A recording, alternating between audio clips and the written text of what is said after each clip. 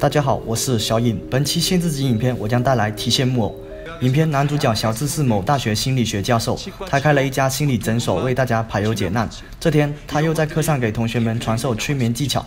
一个猥琐男发出疑问，询问小智的催眠能不能用于私事，例如让暗恋的妹子爱上自己。小智说完全没问题。为了证明催眠者会对自己言听计从，他找了个女同学做示范。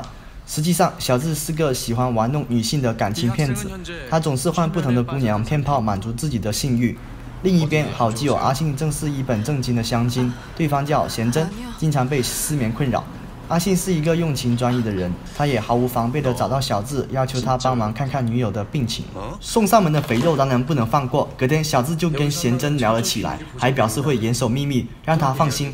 但是贤真说出来之后，自己每晚还是都睡不好。好像一直有不干净的东西如影随形。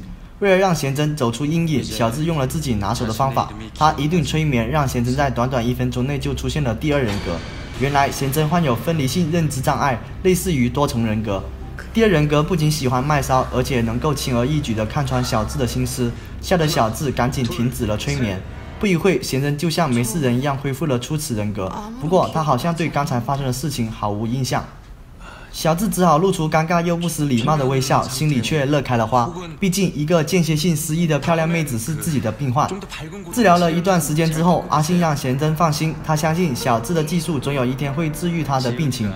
日子一天一天过去，贤真的病情逐渐好转，小智开始第二阶段的催眠。这个阶段里，贤真想起了跟前男友爱爱的事，身体逐渐发热，又自动切换到第二人格。贤真亢奋到不行，开始卖骚起来，直接抱住了小智。但朋友妻不可欺，关键时刻小智还是忍住了。不过从这天起，小智一个人的时候开始意淫起贤真。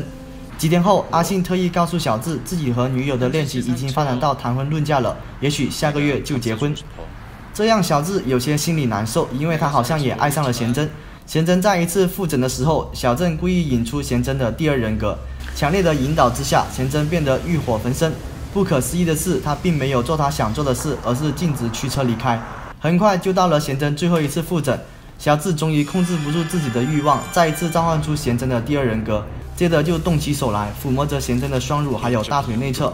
但是小智意识到他不能和贤真简单的一夜情，自己要的是一个愿意服从自己的女人。于是这一次，小智开始有意识的引导贤真。强调自己是贤真的真爱，无论如何他都要来服侍自己。只有无条件的爱自己，贤真才能获得幸福。果然，缺爱的贤真很快就中招了。一旦到了周末的午后三点，他就会像着魔一样放下手上的所有事情，直接跑到小智家里跟小智啪啪啪。自那之后，贤真彻底沦为小智的欲望玩具。贤真也会在周末下午准时到小智家。不管是站着趴还是坐着趴，啪啪啪到麻木的小智有些恍惚，他开始思考：只有性没有爱，真的好吗？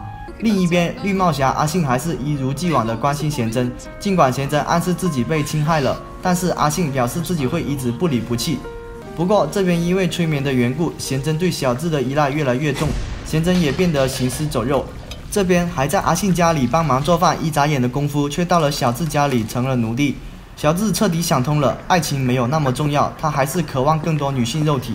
然后另一边，美眉小小一直暗恋小智，尽管他是小智的学生，但是他还是跟小智告白了，小智也接受了。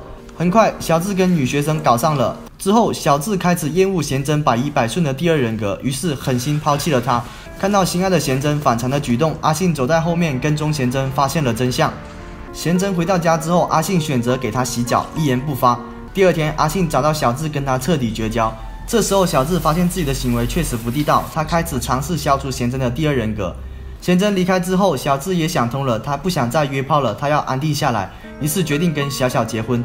但其实贤真的第二人格已经侵蚀心灵，他开始每天牵着提线木偶自言自语。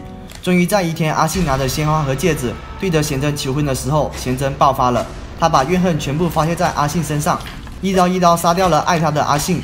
回过神来，已经晚了。接着，他满身是血来到小智家里，带他去了地下室。